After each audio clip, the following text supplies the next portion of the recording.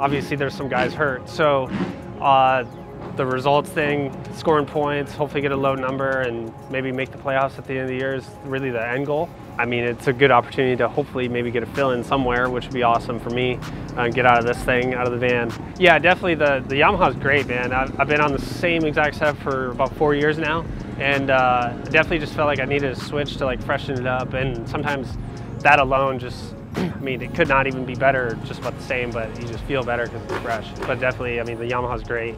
Working with Enzo has been awesome so far, and it's just been a positive switch. Uh, it was a little stressful. Um, thankful to Vital MX's own uh, Michael Lindsay. He helped me out a lot. So uh, without him, it would have been way more stressful. But um, so far, it's been a pretty easy transition. It was just a little stressful the first like couple days getting parts and stuff like that. Like every time I've rode the bike, it's had new stuff on it. But it's been solid switch. I was P9 overall at round one, so got a solid top 10 gate pick and hopefully it's gonna be a solid day. No, I don't really get excited. I've always been pretty good at qualifying. Uh, like last year I had some a top 10 at Redbud or some like pretty solid top 15s when the field was a little deeper. So qualifying has never really been an issue but I was a little surprised at seventh just because I didn't really feel that fast. I was just kind of out there like riding and getting a feel for it. But yeah, I think throughout the year, uh, like definitely like Redbud is usually I'm pretty solid there. I think I could be pretty close to like a five to 10 range pretty much every week. For me personally, like I've always liked doing my own thing. And when I get so busy, like doing everything myself, honestly, like I think I ride better just because I'm so busy, like mentally or physically, and it's it's almost easier to just get through the race day and like almost not even think about it.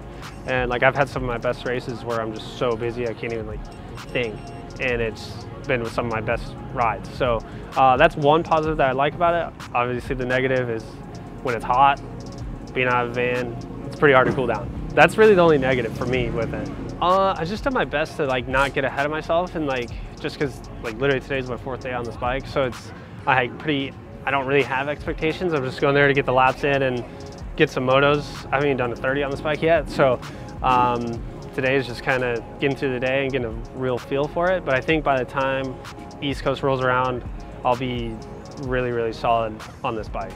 Uh, definitely long term is to hopefully get top 20 overall combined points and just get straight in and you know, really dial everything in throughout the year and crush it the last three is my long-term goal.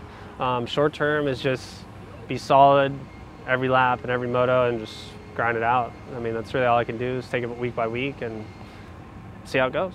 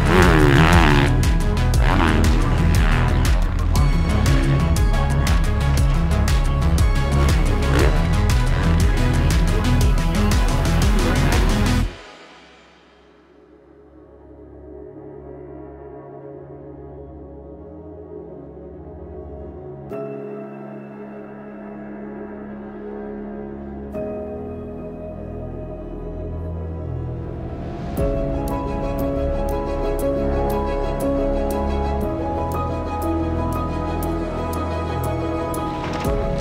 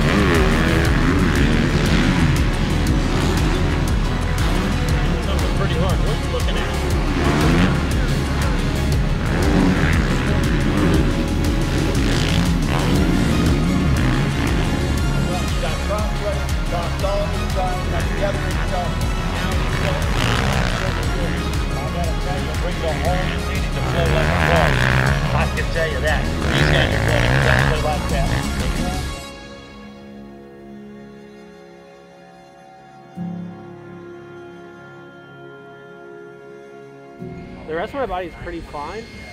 My shoulder, this shoulder hurts Yeah. a little bit, but once we get more time in these things, I think it'll be solid. I think when we go east, though, that bike's gonna be so much better. Just 'cause it is stiff, Yeah. like for here, like the hard pack Yeah. step. Not bad though. I mean, decent opener. Uh, switching bikes has been great. I mean, the Yamaha's so fast, and I mean, my starts are great all day, which is pretty unlike me. Usually, I start like 30th, so uh, that that was nice to kind of chill out the first couple laps, and for most of the race, like I was kind of just chilling. Harlan came up on me at the end pretty good. Uh, ended up uh, eighth at Moto, which was awesome. I mean, it's my first top 10, so I was stoked on that. And then second Moto, started sixth.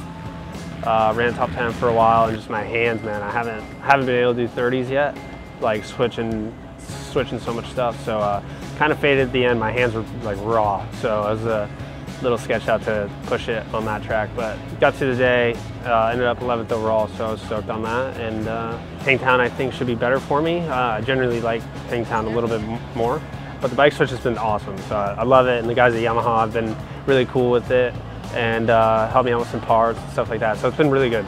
Going into Hangtown, um, actually finally going to be able to break in my practice bike.